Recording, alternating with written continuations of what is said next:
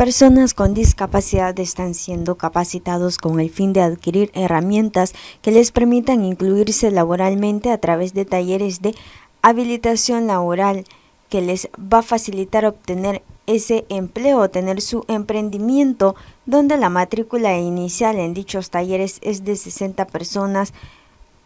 con discapacidad visual. El programa Ágora, el INATEC y todas las instancias formativas de cara a lograr eh, que las personas con discapacidad visual adquieran herramientas que les permitan eh, incluirse laboralmente, están incorporándose en los diferentes procesos de capacitación, que son talleres de habilitación laboral para que ellos puedan obtener herramientas que eh, les faciliten su acceso ya sea a un empleo formal o lo que conocemos como emprendimiento. Sabemos que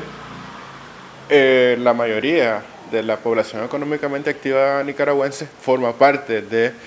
las actividades de economía creativa o emprendimiento. En ese sentido, pues también las personas con discapacidad visual han estado participando en talleres como elaboración de tejido macramé,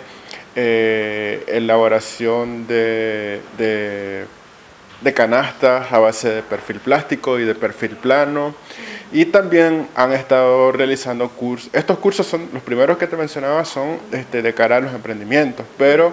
de cara a los empleos formales o a las este, personas con discapacidad visual en proceso de formación que están en las universidades o carreras técnicas o personas con discapacidad visual que son profesionales también hemos estado con cursos de computación en caso de este, de este LIC que tenemos Excel avanzado y en el caso de Managua que tenemos inglés comunicativo 2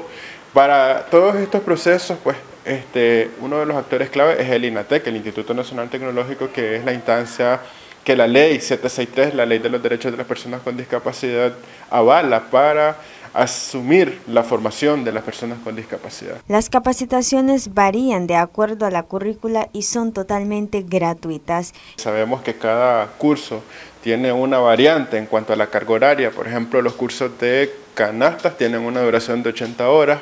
los cursos de inglés tienen una duración de 100 horas,